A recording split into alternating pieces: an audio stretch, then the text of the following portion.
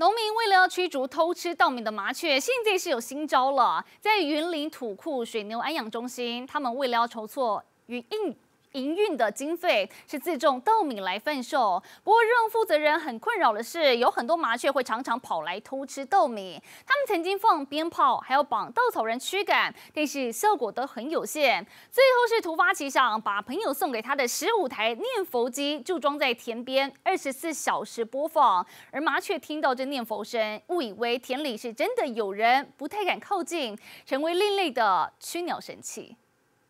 稻田里怎么长出一朵朵粉色莲花？而这其实是太阳能念佛机，却也成为农民眼中另类驱鸟神器。阿弥陀佛，阿弥陀佛。田里不断传出的念佛声，就是赶跑麻雀的秘密武器。原来园林土库水牛安养中心负责人目前饲养三头水牛，为了筹措照顾经费，自种稻米贩售。而目前正值二级稻作生长期，却常有麻雀飞来偷吃稻作，一度让他相当困扰。咱早期一寡方法就是讲用稻草人，无就是用呃用。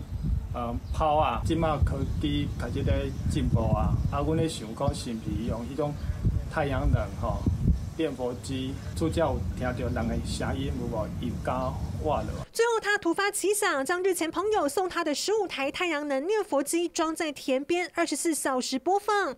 没想到麻雀听见念佛声，误以为田里有人，还真的不太敢飞来偷吃，意外见效。至少一工人听差不多二十几首啊，迄种。有金就对了。哦，哎呀，真正有效哦。有效，因因为甲多咱现现场看嘛，就是讲咱有插迄念佛机的迄边，出叫唔敢来。念佛机驱鸟，让农民出乎意外，也希望麻雀别来偷吃，让辛苦种植的稻米能有好收成。解放中城与您报道。